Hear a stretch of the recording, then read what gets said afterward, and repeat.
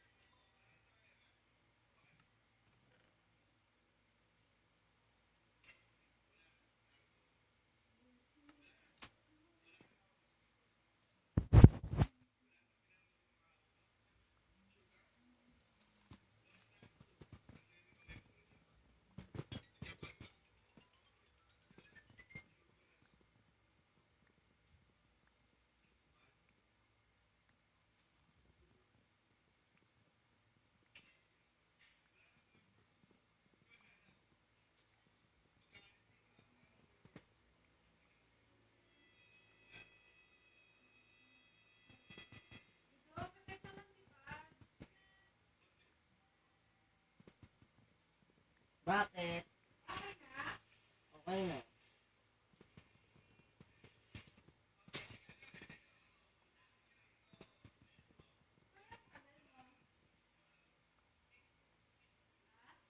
Ha? Tumambay muna ako dito. Tumambay muna ako ng ilang minutes.